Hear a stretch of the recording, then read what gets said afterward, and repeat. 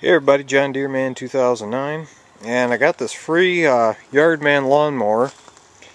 And I finally got it to where it's running under its own power. Um, but when I got the engine the valve cover was completely off and the breather was off and the carburetor was off and all this linkage was disconnected.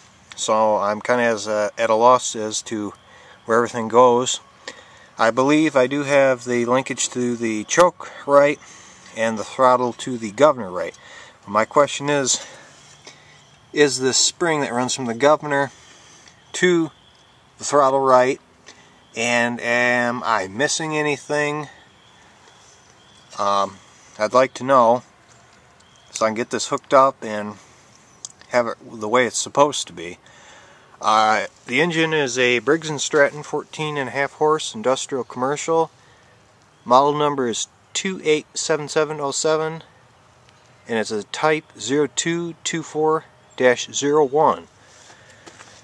So if there's anybody out there who's got this type of engine, um, if you could just uh, give me a very detailed drawing of how the linkage, uh, springs, anything else that you uh, can see that it is not hooked up correctly or missing,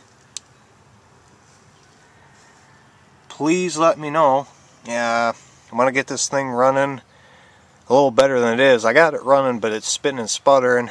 Um, may need a carb rebuild kit, but uh, I priced those and they're around $42, so uh, really not looking into buying one of those right away. Uh, hopefully I can just clean it out real good and make do. So any help would be greatly appreciated. So this is John Deere Man 2009 and uh, thanks for watching and don't forget to comment, rate, and subscribe.